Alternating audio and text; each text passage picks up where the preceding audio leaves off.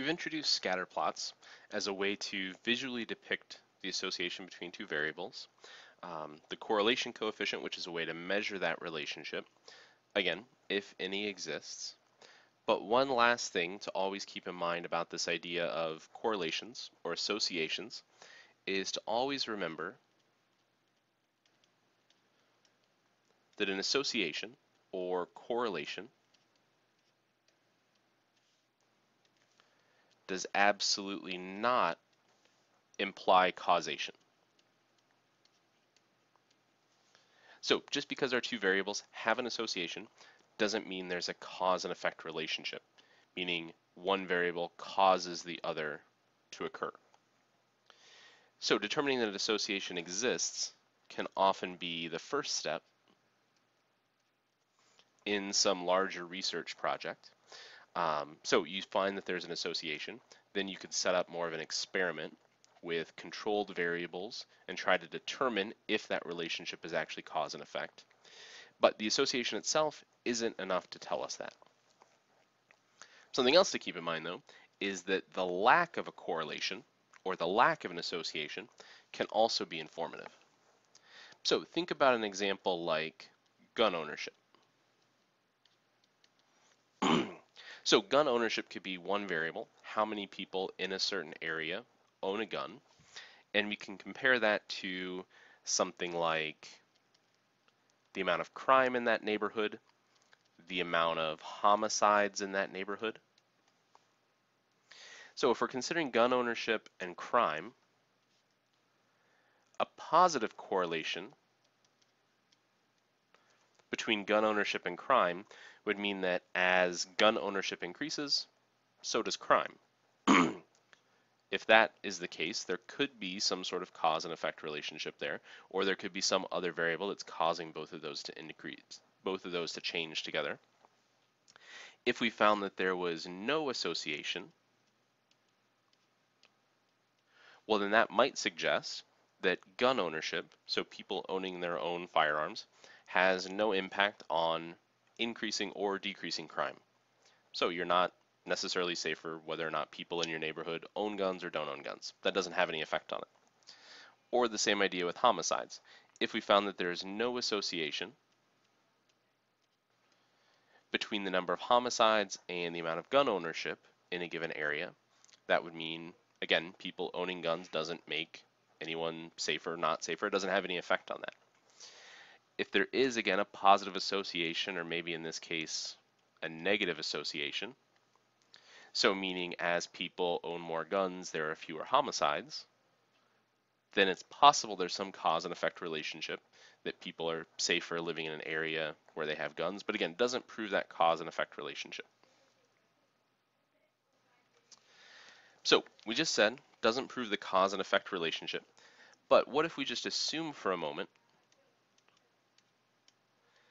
that evidence of an association did imply causation. So what sort of implications would that have?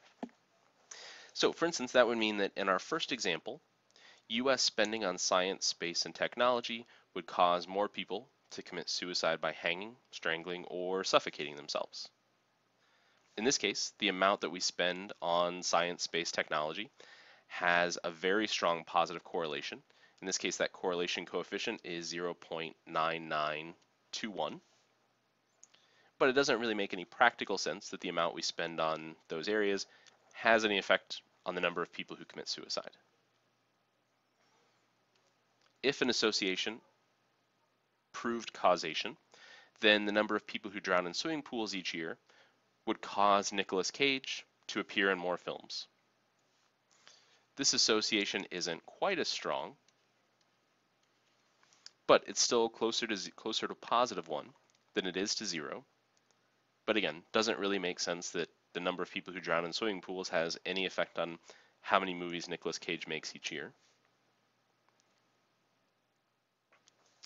We would have, again, if we're assuming association did imply causation, then the number of people who get divorced in Maine, their divorces per 1,000 people.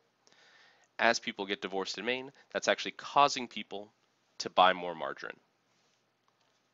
And in this case, again, we've got a very strong correlation, 0.9926. So if it was proving a cause and effect relationship, then the more people who get divorced in Maine, the more margarine you would have to, as a result, buy. Or people dying by being strangled by their bed sheets would cause skiing facilities to make more money. Again, we've got a very strong positive linear association between these variables. But people dying accidentally in their beds probably has absolutely nothing to do with how much money are made by ski facilities, ski slopes, and things like that. So in each of these cases, we need to think about what lurking variables there might be. So lurking variables are the idea that there are other variables that control what's happening, something else that's going on that affects both of these. So the fact that there's an association, it's just sort of an interesting thing to notice. Both of these variables increase together. But in each of these examples that we've just looked at, again, really just doesn't make practical sense that there's any cause and effect relationship. There's probably some other lurking variable that wasn't included in the study that is causing both of those things to change together or change in the opposite direction.